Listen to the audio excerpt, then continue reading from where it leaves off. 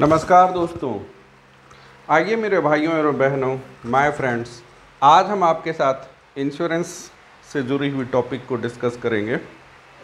जो हमारे चैनल का नाम हमने रखा है, वो रखा है हमने इंश्योरेंस की बात कुलदीप कात्यायन के साथ, ठीक है? तो मैं हूँ आपका कुलदीप कात्यायन। मैं आपको इंश्योरेंस के बारे में छोटी मोटी बातें और इसमें क्या क्या टेक्निकलिटी हो सकती है, वो सब चीज़ें आपके साथ डिस्कस करूँगा। फोकस होगा हमारा प्रोडक्ट्स के ऊपर क्लेम रिजेक्शन के ऊपर। और कौन सा हम इंश्योरेंस लें, कौन सा इंश्योरेंस हमारे लिए बेनिफिशियल होगा, कौन सा इंश्योरेंस जब हमारे को ज़रूरत हो उस समय हमारे लिए बेनिफिशियल होगा। साथ साथ हम ये भी डिस्कस करेंगे कि इंश्योरेंस का प्रारूप स्ट्रक्चर कैसा होता है और इंश्योरेंस हमें कैसे लेना चाहिए, किन से लेना चाहिए, ठीक है? तो आइए हम मिल के अपनी जर्नी को शुरू करते हैं। नाम लेते हैं श्री कृष्ण जी का। जय श्री कृष्णा। आइए हम बढ़ते हैं।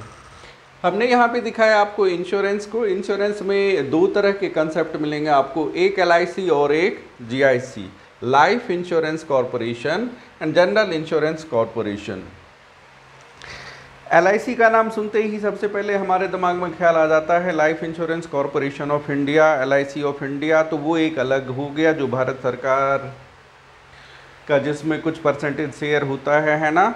लेकिन बाकी सारे जितने भी लाइफ इंश्योरेंस कॉरपोरेशन है, उसको भी गवर्न करती है, सबको एक ही गवर्न करती है। गवर्निंग बॉडी का नाम क्या है? I R D A I है ना?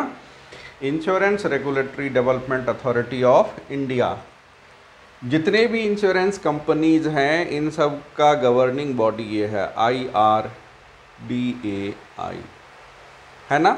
अब इसमें से ट्रस्ट वर्दी जो है वो किसका है, नहीं है, वो एक अलग टॉपिक का विषय है, आप लोगों के सामने होती सारी बातें। अब लाइफ इंश्योरेंस कॉरपोरेशन के जो प्रोडक्ट होते हैं, वो दो तरह के होते हैं। एक होता है प्योर टर्म जो कि डब्ल्यू टी प्रॉफिट मतलब विदाउट प्रॉफिट तो प्योर टर्म पॉलिसी क्या होता है? मित्रों फ्रेंड्स मेरे गुरुजनों, माताओं, बहनों प्योर टर्म पॉलिसी होता है कि उस दरमियान हमने मान लो 25 साल का टर्म इंश्योरेंस लिया और 25 लाख के लिए हमने पॉलिसी ली।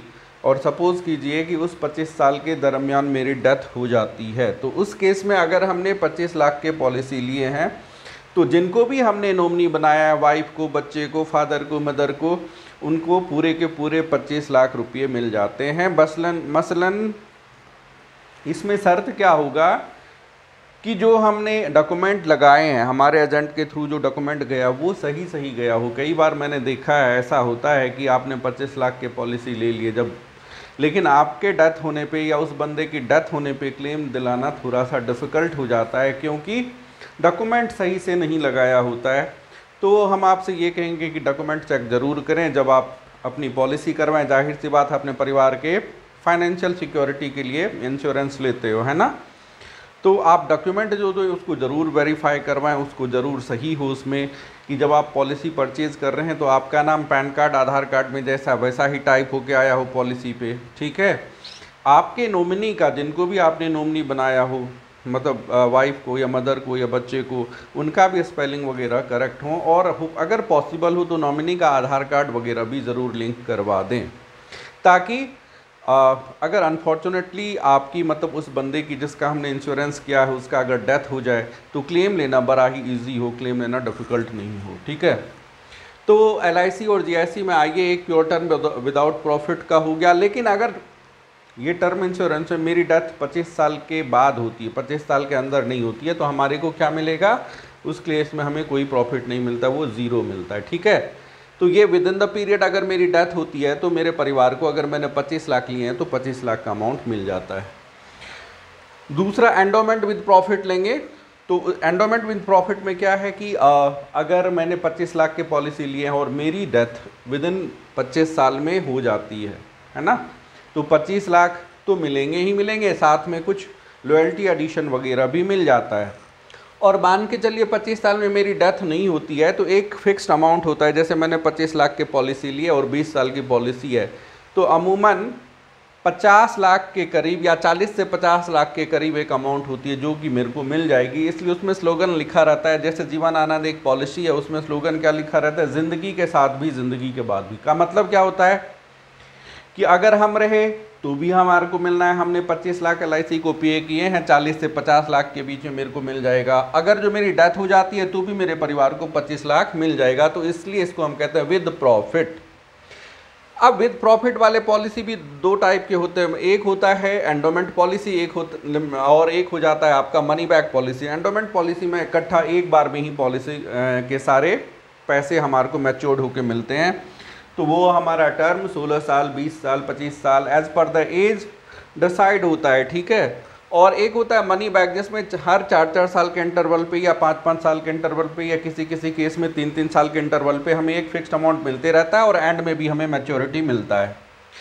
ये सब चीज़ें हम बाद में डिस्कस करेंगे। एंडोमेंट में जैसे एलआईसी की कुछ पॉलिसियाँ हैं, जीवन लक्ष्य, बाल जीवन जीवन लाभ, है ना?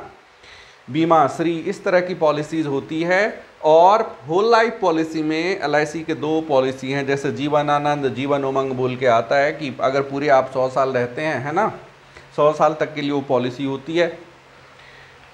अब इन दोनों को बाद में मैं समझाऊँगा कि इन दोनों में क्या डिफरेंस है। अभी आप सिर्फ़ ये जानिए होल लाइफ मतलब पूरे सौ साल के लिए पॉलिसी होती है, ठीक है? तो उसमें जैसे मैंने नाम लिया जीवन आनंदन जीवन उमंग का।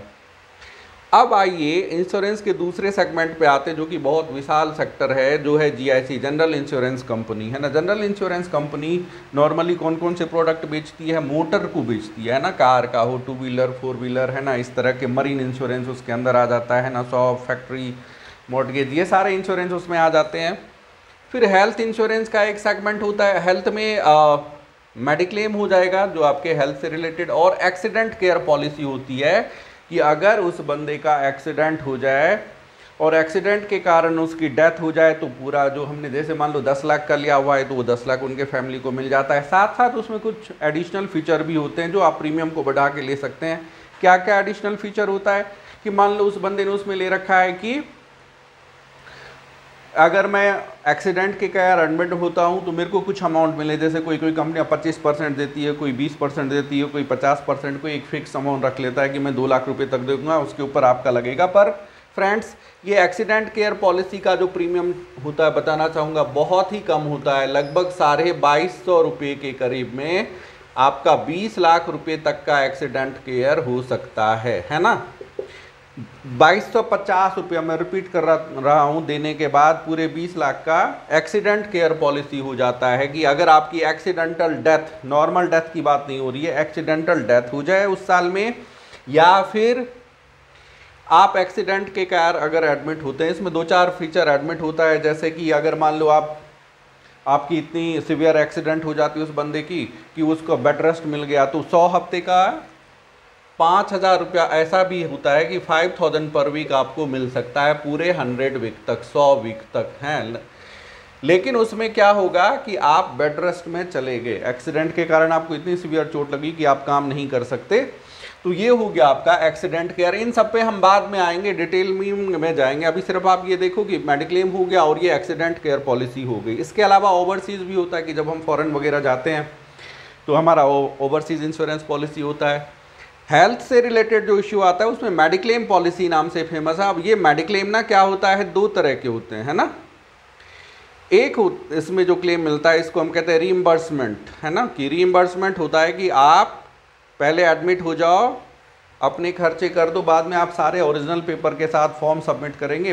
20 से 22 दिन के अंदर वो जो अमाउंट है, जितने भी आपने खर्चे हैं हॉस्पिटल में एडमिट होके वो सारे आपके अकाउंट में ट्रांसफ़र हो जाते हैं तो हम इसे रीइम्बर्समेंट कहते हैं। दूसरा होता है कैशलेस तो फ्रेंड्स मित्रों आप जब भी जाओ तो आप ये ज़रूर चेक करो कि कैशलेस में ही जाएँ क्योंकि मान लो हम रात में एकदम से बीमार हुए और आ, मेरी जो ज़रूरत है वो दो लाख चार लाख पाँच लाख की आन पड़ी तो हम किससे मांगने जाएँ? तो जब मेडिक्लेम लें तो ये ज़रूर सुनिश्चित कर लें कि वो कैशलेस हो। कैशलेस का मतलब कि कैश का हमारा कोई झंझट नहीं हो, है ना? तो ये हो गया। अब आगे बढ़ते, इसमें भी कई तरह के पॉलिसीज़ आज के डेट में आए हुए मार्केट में, जैसे हॉस्पिटल कैश बेनिफिट होती है कि अगर मैं बीमारी के कारण एडमिट होता हूँ एक दिन या उससे ज़्यादा। बार बार मैं कहता हूँ कि मेडिक्लेम पॉलिसी तभी अफेक्टिव होता है नॉर्मल केसेस में, जब वो 24 घंटे या उससे ज़्यादा के लिए बंदा एडमिट होता है, तभी मेडिक्लेम पॉलिसीज़ में क्लेम मिलते हैं, ठीक है? तो उसमें हॉस्पिटल कैश बेनिफिट की अगर 24 घंटे से ज़्यादा रहा तो उसमें पर डे का फिक्स रहता है कि अगर आप पाँच सौ रुपये, हज़ार रुपये, दो हज़ार रुपये तक का आप ले सकते हैं पर डे, उसका एक अलग से प्रीमियम बन जाता है ना? मान लेते हैं कि एक दिन में कोई बंदा, एक बार में कोई बंदा सात दिन के लिए एडमिट रहा तो एक दिन काट के छः दिन का उसे तीन हज़ार रुपये रिम्बर्स हो जाएगा, उसके अकाउंट में ट्रांसफ़र हो जाएगा। ये हॉस्पिटल कैश बेनिफिट फिर एक्स्ट्रा केयर या टॉप अप पॉलिसी जैसे मोबाइल रिचार्ज करते हैं हम फ्रेंड्स तो उसमें टॉप अप होती है, उसी तरह मेडिक्लेम में भी टॉप अप पॉलिसी आती है कि जो हमारा बेसिक सम है। मान लीजिए किसी ने हेल्थ इंश्योरेंस ले रखा है बेसिक सम पाँच लाख रुपये का। पर आज के डेट में आपको पता है, जब से कोरोना आया, उसके बाद से पाँच लाख कोई मायने नहीं रखता। पहले जो पाँच लाख लेता था, वो बड़े शान से कहता था कि हमारे पास पाँच लाख का मेडिक्लेम है। पर फ्रेंड्स दिल्ली एनसीआर वगैरह में या बड़े बड़े सिटीज़ में पाँच लाख की कोई वैल्यू नहीं है। तो अब लोग क्या करने लगे हैं? या तो अपने सबको बढ़ा के बीस लाख, पचास लाख, पच्चीस लाख कर रहे हैं, या फिर उसके जगह पे क्या करते हैं, वो एक्स्ट्रा केयर या टॉप अप पॉलिसी ले लेते हैं। टॉप अप पॉलिसी को मैं अभी मोटा मोटी समझा रहा हूँ क्या होता है कि पाँच लाख की पॉलिसी मेरे पास बेसिक पॉलिसी है। उसके ऊपर अगर मेरा खर्च आता है जैसे हमारे फैमिली में से हम या कोई भी मेंबर एडमिट हुए, मेरी पॉलिसी पाँच लाख की है बेसिक पॉलिसी और मेरा खर्च हुआ सात लाख रुपया। तो पाँच लाख तक का जो क्लेम है, वो तो यहाँ से कंपनी हमारे को पे करेगा। अब जो ऊपर का दो लाख रुपया आया, वो कहाँ से चला जाएगा? टॉप अप पॉलिसी फ्रेंड्स, मित्रों, मेरे माताओं, बहनों, ये जो टॉप अप पॉलिसी होती है एक्स्ट्रा केयर किसी कंपनी में किसी भी नाम से बिकती है, ये बहुत सस्ते होते हैं। पाँच लाख के ऊपर बीस लाख का पॉलिसी लेते हैं टू प्लस टू का आपका फैमिली साइज़ है। एक एवरेज में बता रहा हूँ, चालीस साल के नीचे जो हेड बंदा है, सबसे बड़ा बंदा वो है। तो लगभग सात हज़ार में, सात हज़ार रुपये में पूरे चार बंदे का बीस लाख का आप टॉपअप पॉलिसी ले सकते हैं। इस पर भी हम बाद में आएँगे। तो ये टॉपअप हो गया। फिर आउट पेशेंट केयर भी आजकल मिलने लगा कि मैं एडमिट ना हूँ सिर्फ़ और सिर्फ़ मैं दो घंटे, एक घंटे के लिए गया तो मेरे को आउट पेशेंट चाहिए तो उसमें लगभग एक लाख रुपए तक की पॉलिसी मिल जाती, पर ये कंपेरेटिवली महँगे होते हैं। बीस से पच्चीस हज़ार रुपये आ जाता है इसमें एक लाख रुपए का आउट पेशेंट केयर पॉलिसी लेने के लिए, ठीक है? इसके बाद और आती है डायबिटीज़ सेफ़ की बंदे को पहले से डायबिटीज़ है तो भी बहुत सारी कंपनियाँ हैं उसे डायबिटीज़ पॉलिसी अलग सेगमेंट में जाके देते हैं तो उसको हम अलग से डिस्कस करेंगे। फिर हो जाता है हमारा कार्डियक केयर, है ना? कि किसी को पहले से हार्ट अटैक आ रखा हो, है ना? तो वो ले सकता है। फिर कैंसर केयर पॉलिसी आजकल आया है। वुमेन केयर वुमेन केयर है, जिसमें सिर्फ़ वुमेन से रिलेटेड कुछ ऐसे डिज़ीज़ हैं, क्रिटिकल डिज़ीज़ हैं, जिसको हम केयर करते हैं और नॉर्मल डिज़ीज़ को भी केयर करते हैं तो वो वुमेन केयर सेगमेंट के अंदर आ गया। फिर होता है रेड कारपेट या सीनियर सिटीज़न पॉलिसी।